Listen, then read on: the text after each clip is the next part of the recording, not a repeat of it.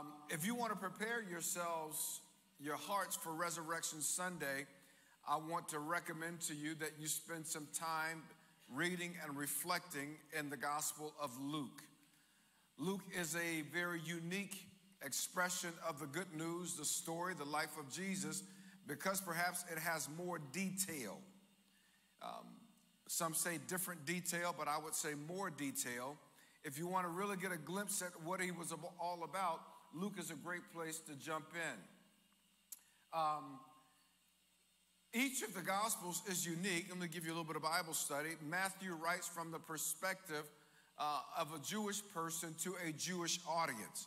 It is his goal, his aim um, to, to, to, to show Jesus through the lens of being the Messiah, uh, the King of Israel.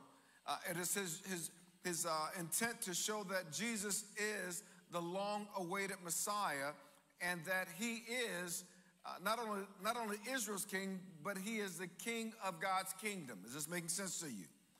He's trying to, Matthew wants you to see uh, him in all of his Jewishness. Mark wants you to see him as the, uh, the servant of God.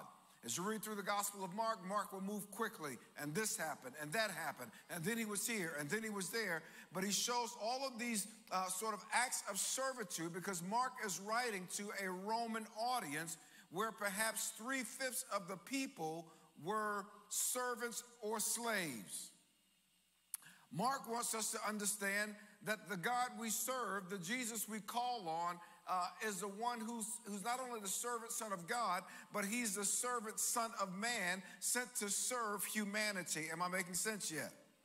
If you read the Gospel of John, what you will discover is John wrote um, considering a universal um, uh, humanity, that Jesus was sent um, to all the world. And so we read in John chapter 3 For God so loved the that he gave his only begotten son, that whosoever, no matter whoever, no matter wherever, no matter whatever they've done, no matter how far from God they've been, you don't have to be religious. You don't have to have a Jewish background. You don't have to have a, a church background. Come on, help me preach somebody. Uh, you can be Jewish, Muslim. You can be anti Semitic. You can be uh, agnostic. You can be atheist. And when you come in contact with Jesus, he says Jesus can save you, He can forgive you, He can deliver you, He can bring you into the fullness of relationship with God in such a way that your life will be transformed for the rest of eternity. Is that the gospel that you believe? Luke is a historian and a physician, and so he tends to write with detail. And his, his, his one aim is to write to a Greek speaking audience largely, uh, though, though his gospel would be read by people all over the world. He writes to them and he wants them to know that this dude is the real deal. He is the quintessential human being. If you ever want to know what humanity is supposed to look like, look no further than the Son of Man. He will tell us that he came with a very specific purpose, which was to seek and to save the lost. And so, whatever you want to understand about him, you need to know Luke says that he came to save lost people. Tell your neighbor, he came to save lost people. Ask your neighbor, is you lost? Wait for an answer. Is you lost? We up in here, and I promise you, I don't care how many people are in church and online, there's always somebody lost. That's not a put down. That's not a denigration. That is a reality. I once was lost. I'm, thank God I'm found. Anybody glad they got found? Come on, somebody. You remember what it was like when you were lost? How jacked you were when you were lost? Somebody's like, I'm still jacked. No, you're not nearly as jacked now as you were when you were lost. I feel the anointing right there. I'm not nearly as jacked now as I was before I came to know Christ. Jesus has the power to transform our lives. Listen now. And he not only transforms our lives on the outside, which is where we like to begin, but he begins a work of transforming us down on the inside. Anybody know what I'm talking about this morning? Am I happy by myself? Um, if, if you don't know what it means to be changed on the inside, where he starts changing your motivations and changing your thought patterns, changing how you move when stuff tempts you, I'm gonna come to somebody's road just as soon as I can. Have you, have you seen how Jesus will give you a, a, a, like for new things and a dislike for old things? That's what he does when he changes you from the inside. It all begins when he forgives you and me of our sin. And, and I got to talk about this for a moment because I think in church we've gotten so smug with the Lord that we forgot what it means to be forgiven. Like, I, am I'm, I'm good. I don't need no forgiveness in my life. Are you serious? I'm saved. I need forgiveness. I, that, that's why the Lord says, confess your sins one to another. He says, if you confess your sins, 1 John 1 9, if you confess your sins, um, what does he say? Uh, he is faithful to forgive us, right? He is faithful and just to forgive us and to cleanse us from all unrighteousness. Jesus is in the business of starting on the inside. Tell your neighbor, he starts on the inside. In this text that we're reading today, um, Luke guides us, if you will, through the story of a, paral- a paralyzed man. This man is stuck. Somebody say he's stuck. And um, he's trying to help us see that Jesus is the, is the one uh, who responds to the faith of stuck people. Has anybody ever been stuck in life? Um, we, we, we, think, we think paralysis of analysis. We think um, we, we, get stuck um, in our heads. Anybody ever got stuck in your head besides me? Uh, we get stuck in our patterns. We get stuck in our ways. We get stuck in our bad habits. We get stuck in bad relationships. We, we, we get stuck doing things we know we had no business doing, and we knew we had no business doing before we started doing it. And you ever been in a place where you're like, why am I doing this again? Stuck. The text opens up. One day Jesus was teaching, and Pharisees and teachers of the law were sitting there. They had come from every village of Galilee and of Judea and Jerusalem, and the power of the Lord was with Jesus to heal the sick. The NIV says to heal the sick. The New King James Version says the power of the Lord was there to heal them. Another translation says, and the power of the Lord was there to heal. And I wonder if it wasn't all of that. That it was there to heal the sick, but it was also there to heal the Pharisees and the Sadducees who came from a long ways to check Jesus out. Now, the Pharisees and the, the I said the Sadducees, but it's the teachers of the law, the experts in the law, these were the quintessential religionists. They were the power brokers in the community. They were the ones who spent their time studying the law of God and trying to make sure that the people followed the law of God. The problem is that they got so into the details and the um, uh, the fineries of the law that they came up with so many laws and rules that they made people miserable. Have y'all been around church that makes you miserable? Well, don't do this and don't do that.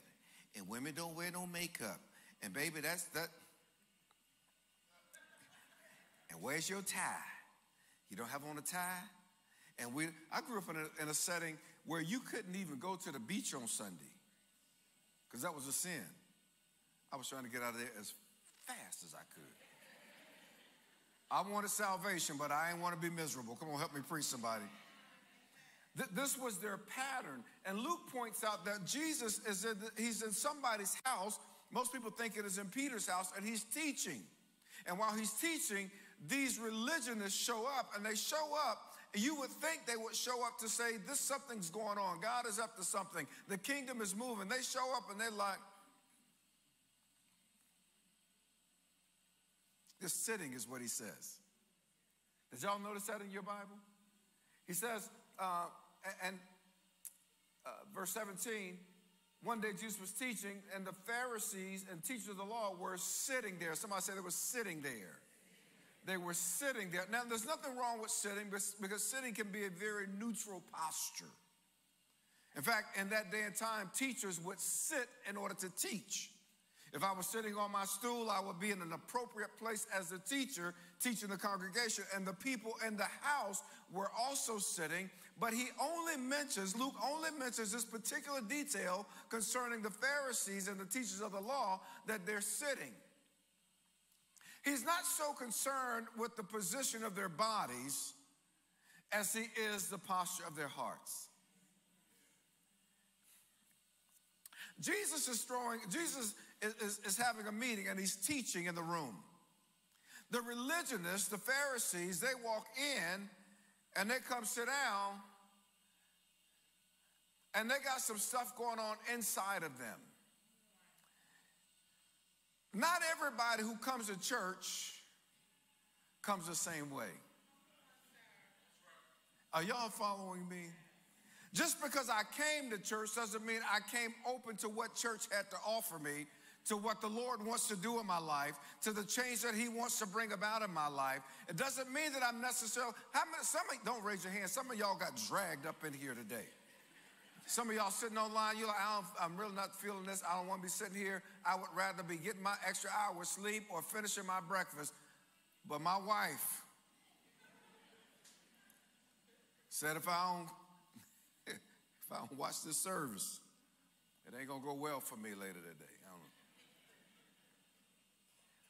He's, he's saying they're, they're sitting, and, and come with me down to, oh, let's see, right about verse 21.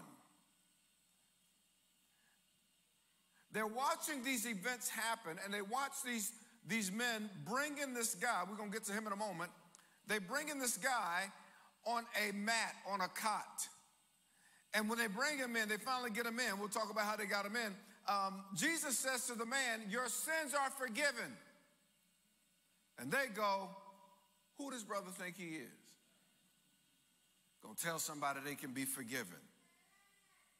You would think that having studied the law of Moses with detail, they'd be happy that somebody could be forgiven. But there's some folk who don't want nobody to be forgiven except them. Somebody help me preach up in here. Isn't it amazing how, how, how some people can be so into the Word of God, into the, the, the details of the Word of God, that they that they, they can't even see the compassion of the Word of God. And it says that these, these Pharisees, they come and they're sitting and they're negative Nellies and they're contentious because they don't really care about the larger kingdom agenda of God. They, they don't want their power to be diminished. They don't want their influence to be diminished. What they're comfortable doing is sitting. And it's what I call sitting faith. There's a type of faith in the church that is sitting faith. Sitting faith that looks at everything skeptically. Sitting faith that ain't gonna do nothing. Sitting faith, listen, that can divide the word of God down to a T. But sitting faith that is critical. They, listen, these cats ain't bring nobody to church. Did y'all see these guys? Ooh, it got quiet in here. Was that a nerve? I'm just, I don't know where I, where I am.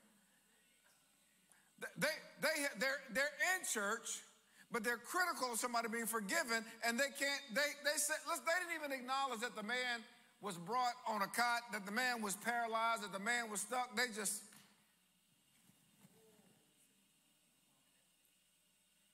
and what I pray for, for, for us is that we would break a sitting spirit off of us.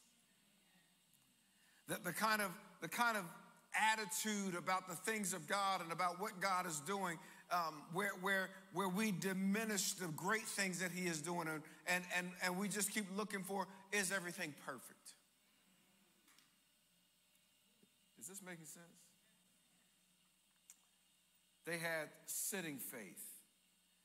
Um, they didn't have, it says, the Bible says that, that the power of the Lord was there to heal. And I wonder what God would have healed them of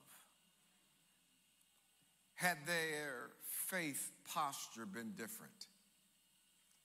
What could God heal you of if you would trust Him?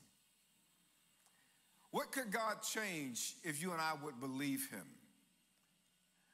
What, what miracle could we see God do if we would have something more than sitting faith. Can I talk to you about another kind of faith in this text? There's a carrying faith. I, I call it carrying faith because the Bible says um, that there's some men, verse 18, they come carrying a paralyzed man on a mat, on a cot, and tried to take him into the house to lay him before Jesus.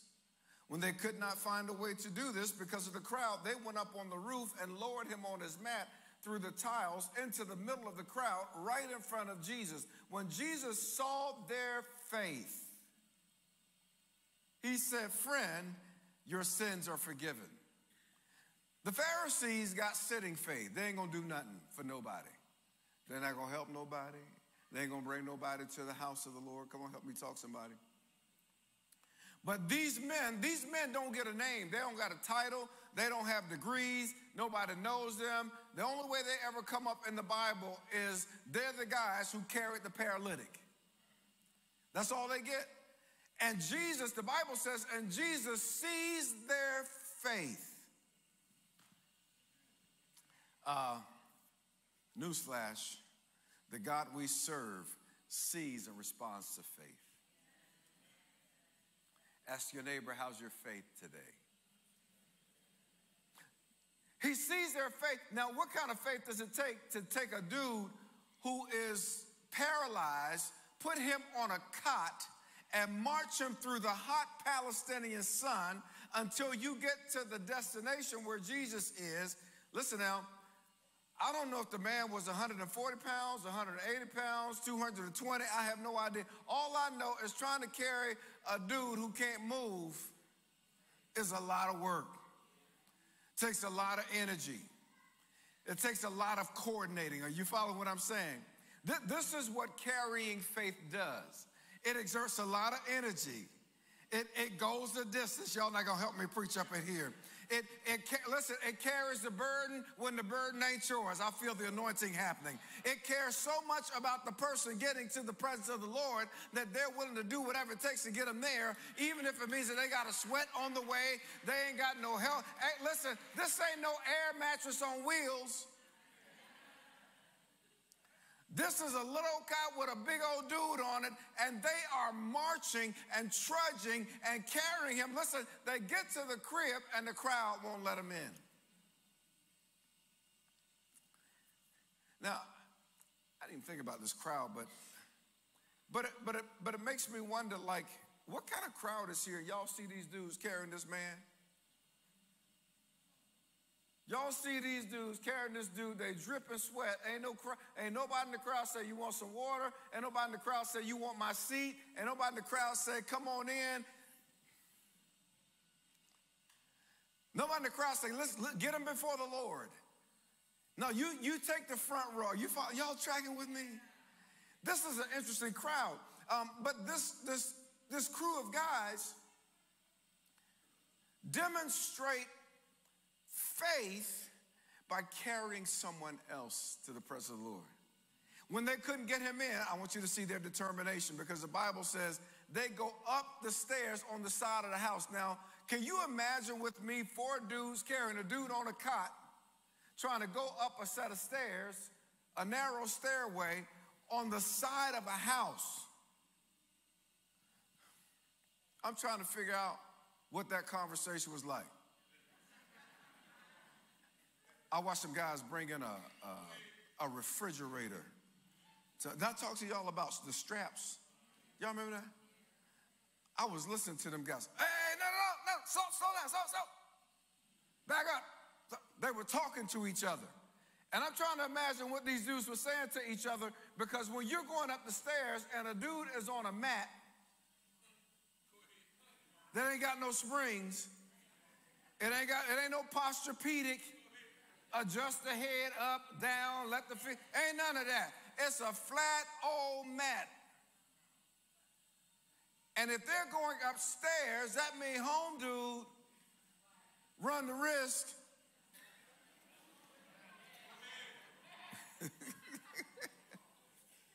There's some, there was some extraordinary engineering going on here. Um, how much engineering Are we willing to engage to get somebody to where Jesus is? How much energy are we exerting to get somebody to where Jesus is?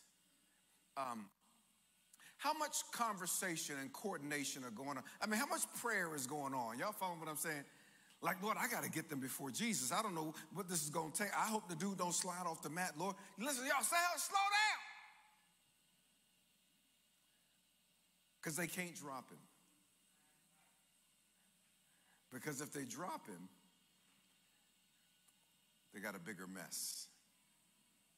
I'm saying to you that, that the precious cargo we're entrusted to carry requires our faith, and we can't drop people on the way. We, we got to be willing to go all the way. We got listen. We got to press through the crowd if necessary. We got to go up the stairs if necessary. We got to tear some tiles. So, somebody said tear the roof off the sucker. that was that was prophetic. He said tear the roof off the mother sucker. Tear the roof off the sucker. And then he said, "We got a real." I'm sorry. Happy thing going down, getting down. Uh, we won't, I'm sorry. y'all stay with me. Are y'all, are y'all tracking with me? This, this is carrying faith. This is faith enough to carry someone.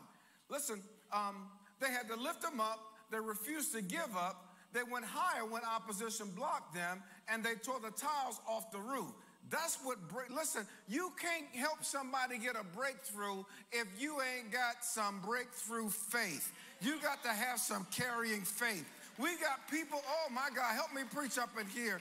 You got, we got friends and loved ones who are stuck and who are looking for a breakthrough. They don't even know where to turn. But this dude says, listen, uh, I got faith enough to get on the mat I don't care where y'all take me. I'm trying to get out of this paralysis. I'm trying to get out of this stuck place. I'm trying to get out of this. I can't move forward. I can't move backwards. I'm, I'm tired of being here like this.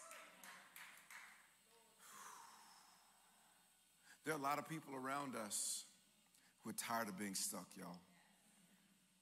They're tired. They're tired of being stuck in bad relationships. They're tired of being stuck financially. They're tired of being stuck in depression. They're tired of being stuck in anxiety. And, and, and we got the,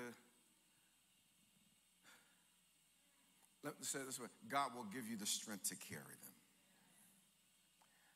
He, he will give us the strength to carry them. What I love about this, this carrying faith is that it's a compassionate faith. They, they couldn't see their dude in this position as long as he had been in it. And we don't know how he got there, how long he been, but like, we, bro, we can't keep seeing you like this. Come with us. You going with us.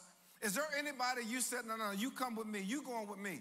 You coming with me on Sunday. You Easter Sunday's coming around. You coming with me. You coming out of the stuck place. You're not. We're not going to leave you in this paralysis that you're in. We listen, we love you too much. We care about you too much. Listen, whatever it takes, we'll pick you up. We'll drive you. We'll call the Uber. We'll Oh my God, who am I preaching to right now? Somebody shout, we got to do whatever it takes by any means necessary. I love their carrying faith, their breakthrough faith. Here's what I discovered stuck people need. They need three things. They need Friends who care enough to carry their burdens, that's compassion. Somebody said, Lord, give me compassion. Compassion means that when I see people in a stuck place, I imagine what it's like to be them. Anybody remember when you were stuck? Anybody remember when you got unstuck? How, how good did it feel to get unstuck? We see them with compassion. Uh, stuck people need faith enough to believe Jesus can change their lives. Now, we're going to talk about this man's faith because I think his faith was as potent and powerful as that of his friends because for him to let them carry them, listen, anytime your friends let you bring them to church, means that they got just a little tiny bit of little mustard seed of faith that something good is going to happen to them.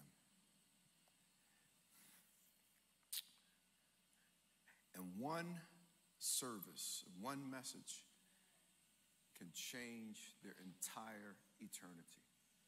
Is that what happened to you and me? How many of y'all remember the day that, that your life changed? That you said yes to the Lord? Come on, give the Lord a praise for somebody who carried you to church.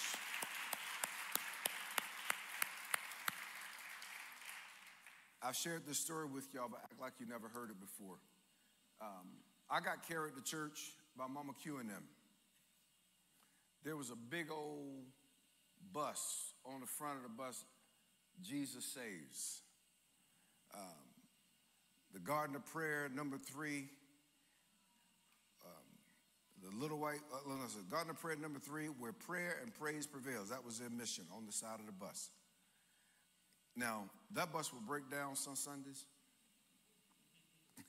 and Brother Ricks would get off the bus and fix the bus and still get us, in, get, get us to church on time. He drove the bus. Uh, Mama Q made sure the kids in the neighborhood got on the bus, even if their parents didn't get on the bus. So you follow what I'm saying? I'm saying people made they made a concerted effort. I forgot that it took gas to run the bus. I ain't never getting no offering in church. I do now, but I didn't then. And, and it just occurred to me that it takes some serious effort to get people saved. It, it doesn't just happen. And, and it's not just, um, it's not just pie in the sky. Some, somebody else is going to do it. It's, it's just going to happen. It's going to happen when we express compassion. They had to have, um, the Stark people have to have friends who, who are compassionate, faith enough to believe Jesus can change their lives, and forgiveness of their own sins that frees them. See, when you prize the forgiveness of God in your life, you want other people to experience forgiveness in their lives. I think I need to teach on forgiveness more. And the reason I'm saying that is because I think a lot of Christians live with so much guilt and shame ourselves that, that we've forgotten how much the Lord loves us and forgives us. Tell your neighbor, He forgives you. As a matter of fact, tell him He has already forgiven you. And His forgiveness is always available to us. You know what it's like to walk around stuck in guilt? I remember when I was first getting serious about God, I was a college student. And um, when I got to campus, I was torn. Anybody ever been torn? Don't please don't look at me like that. Don't don't don't look at me like that. I was torn. And and on some days I wanted to go hard for God. On other days I wanted to go hard otherwise. And then there were days I wanted to go hard for God. And some days I was going hard way left. And, and, I was, and I was carrying such guilt in my life that when the Bible study leader came to my house, I mean, to my, my, my dorm room, knocking on the door, I told him come at 645 because the meeting started at 7, just around the corner on campus. But I was carrying so much guilt and shame I said, everybody in the room.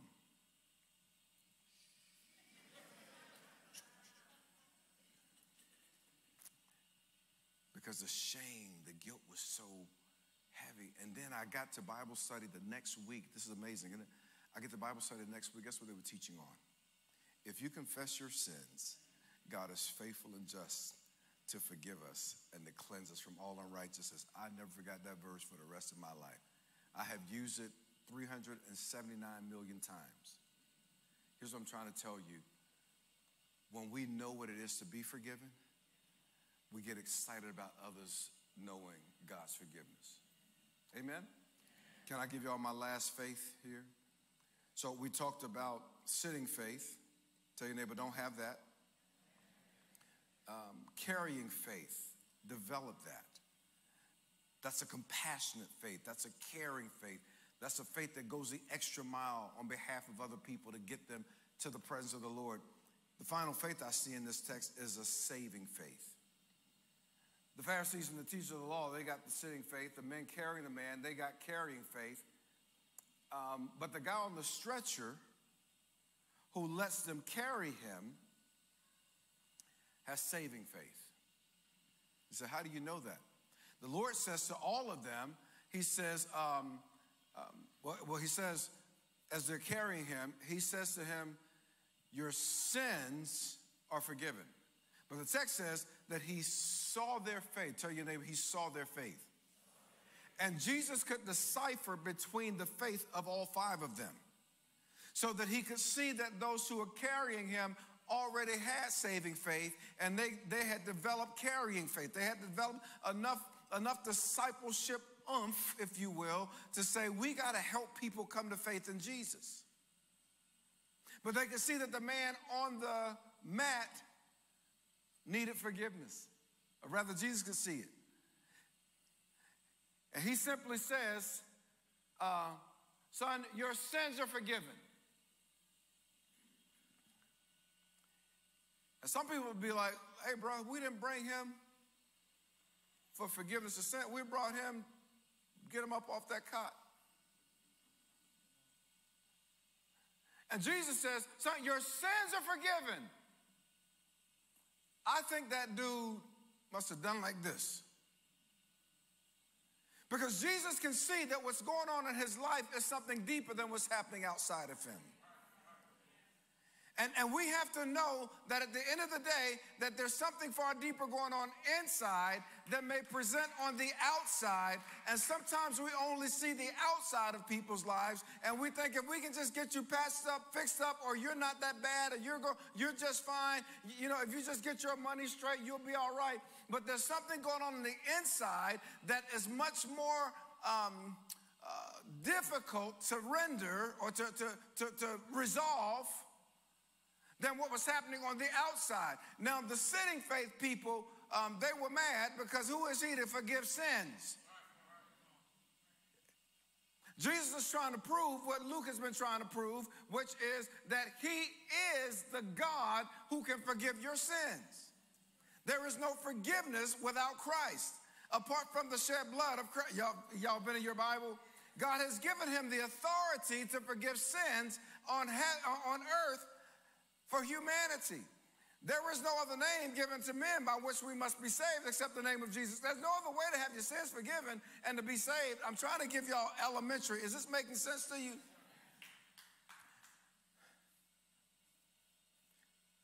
Jesus says, Friend, your sins are forgiven.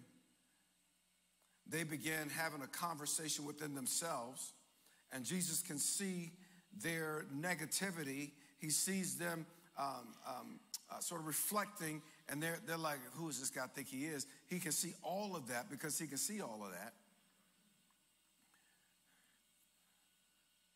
And he says to this man, Your sins are forgiven. And the Bible says, Jesus simply says to him, um, You can get up, take your bed, and go on back to your house. What does saving faith look like? How do you know if somebody's got saving faith? Because I'm not Jesus, you're not Jesus. How do we know? What does it look like? First of all, the man is humble enough to know he needed forgiveness. He was humble enough to let them carry him. And I'm trying to tell you, maybe you're here today, maybe you're online today.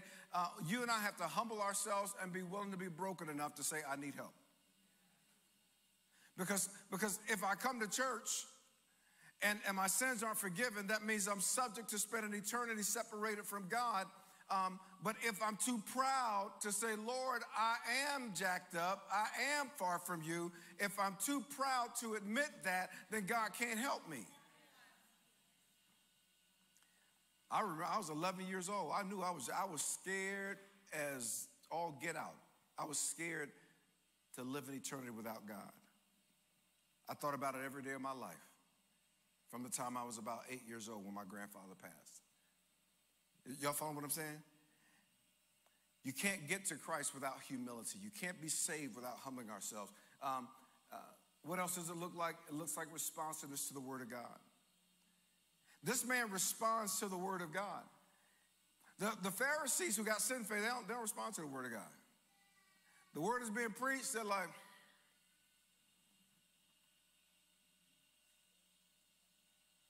They're not responsive. This man is responsive. How do we know he's responsive? Uh, because when the Lord tells him to get up and carry his mat, guess what he does? Gets up and carries his mat. Saving faith is transformative. It's got the power to transform your life and my life. How many of you know you're not who you used to be? You, you may not be who you're going to be, but you're not, we're not who we used to be.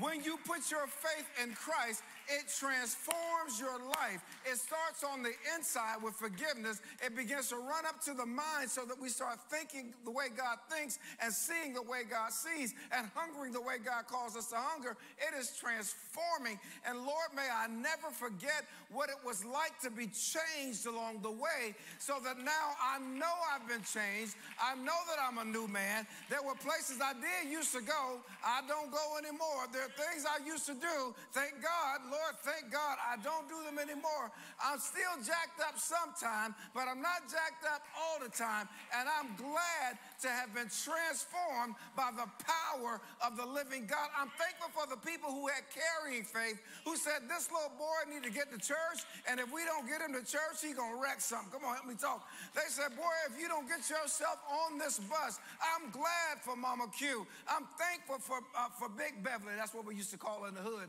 I'm thankful for all of those who used to get us on the bus, they had no idea that I would be preaching on Sunday morning in, in 2024. They had no idea that I would be giving God the praise. They had no idea that I would be loving Him for the rest of my life. They had no idea that many would come to faith in Jesus because of the little boy that they made sure got on the bus. They had enough faith that God would put gas in the bus they had enough faith that if they just got me to church, they had enough faith that if he just heard the word, they had enough faith. They had carrying faith so that I could get to church and exercise some saving faith on a, on a warm January morning. The church felt like 150 degrees. I said, Lord, I don't want to leave this life without you. I don't know where granddaddy is, but I don't want to leave this life without you.